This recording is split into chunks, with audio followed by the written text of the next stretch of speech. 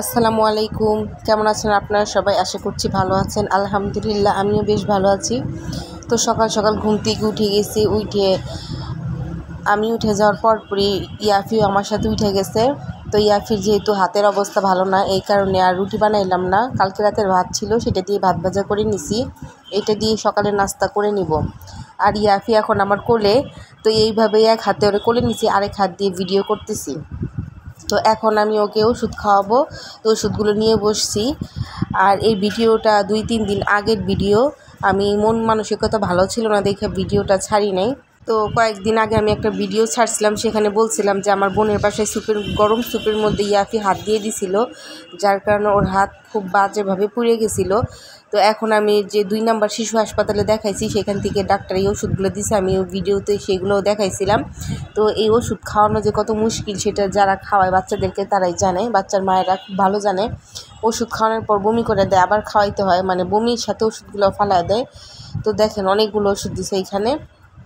এখন তোর মনটা খুব ভালো, যখন ওষুধ খাওয়াবো তখন একেবারে কান্না শুরু করে দিবে, আর বমি শুরু করে দিবে, আর পুরা ফ্লোর ও শরীর পুরা মেখে ফেলায় ওষুধ দিয়ে, আর ওষুধগুলো যেহেতু মিষ্টি পুরাই একবার আঠা আঠা করে ফেলায়। তো আমি ওর বলতেছিলাম যে, ওষুধ খাবে তুমি? আর ও হাসতেছিল। তো সবাই ওর জন্য দোয়া করেন যেন ওর হাতটা ঠিক হয়ে যায়। তো পরের দিনকে ওর ডাক্তারের যা কাছে যোগাযোগের কথা ছিল মানে ওর হাতের কী অবস্থা, ডাক্তার বলছিল দুই দিন পর দেখাইতে। তো এই যে আমি দুই দিন পর ওকে হাসপাতালে নিয়ে এসেছি দেখানোর জন্যে। আমি যে আগে ওর হাত পুড়ছে, যে ভিডিওটা দেখাইছি, তার তিন দিন পর আমি হাসপাতালে গেছিলাম। এটা সেই দিনের ভিডিও। তো গত দুই, তিন দিন ধরে ভিডিও ছাড়া হয়নি যার কারণে আর এটাও আপলোড দেওয়া হয় নাই। তো হাসপাতালে গিয়ে চেক আপ করে আসলাম। তো ডাক্তার বলল যে, না, অবস্থা ভালোই আছে। তারপরে দশ পনেরো দিন পর আবার ওকে নিয়ে যেতে বলছে। তো বাসায় এসে রান্না করতে পারি নাই। তো বোনের বাসায় গেছি মানে বোনের ফ্ল্যাটে গেছি। তো দেখলাম ও খুদের ভাত আর ভর্তা তৈরি করছে।